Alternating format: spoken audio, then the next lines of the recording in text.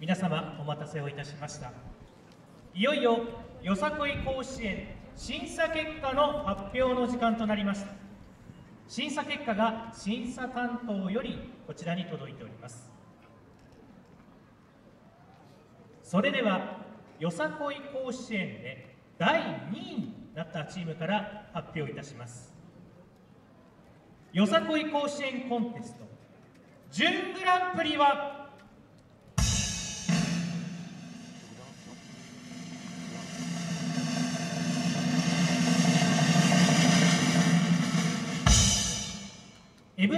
よさこいクラブの皆さんです」プレゼンターは日立の国よさこい祭り本部委員会笠井秀夫会長お願いいたします。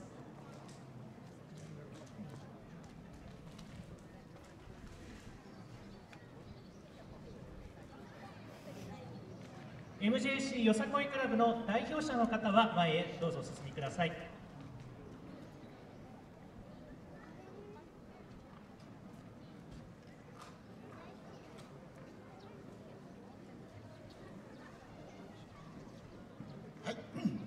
おめでとうございます。少女よさこい甲子園準グランプリ MJC よさこいクラブの皆様、あなたは日立の国よさこい祭りよさこい甲子園において優秀な成績を収めましたのでこれを称します。令和6年5月18日、茨城県教育委員会教育長八木橋常木おめでとうございました。よ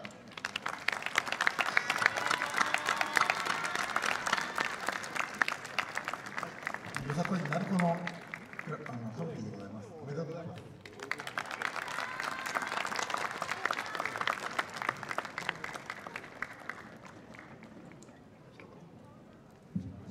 喜びの言葉を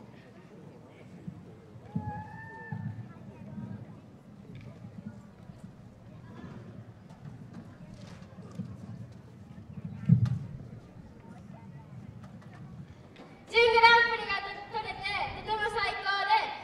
みんなと踊れて最高でしたありがとうございま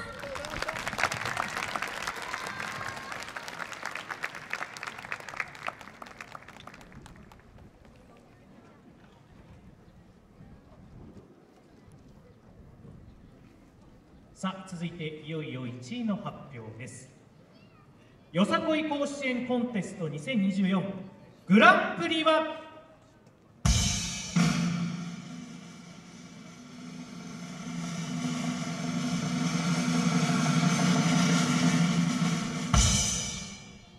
福島学生原種シーガの皆さんです。おめでとうございます。プレゼンターは日立の国よさこい祭り本部委員会笠井秀夫会長お願いいたします。それでは福島学生原種シードの代表の方は前へとお進みください。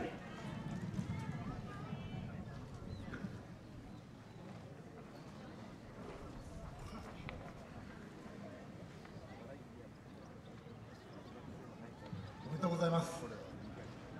少女よさこい甲子園グランプリ。島学生原子シードの皆さん、あなたはよさこい日立の国よさこい祭りよさこい甲子園において当初の成績を収めましたのでこれを称します。令和6年5月18日茨城県議会議長半村昇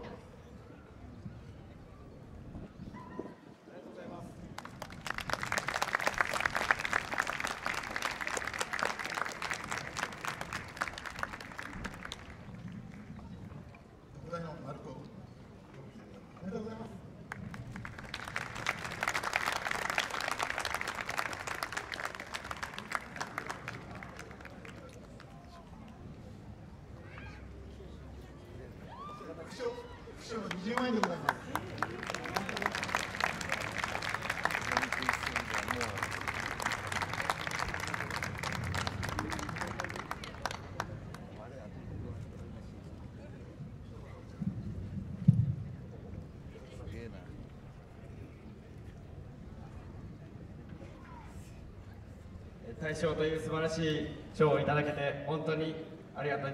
感謝しかないです。本当にありがとうございました。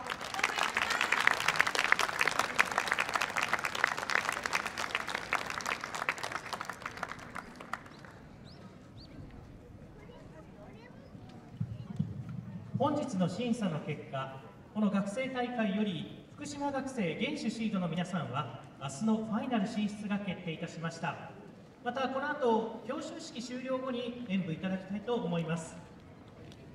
ここで第21回日立の国よさこい祭りを代表しまして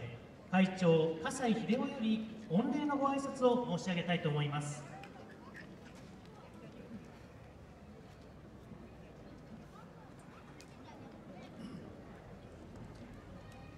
はい、皆様、この暑いのに暑い中ですね、えー最後までご覧いただきまして本当にありがとうございました。またですね、えー学生大会選手の皆様おめでとうございます。MJC の皆様おめでとうございました。それで、えー賞には入らなかったんですけれどもですね、あの大岡一門の皆さん、それから K の皆さん、なかなかですね審査が大変だったと思います。本当にどうもお疲れ様でございました。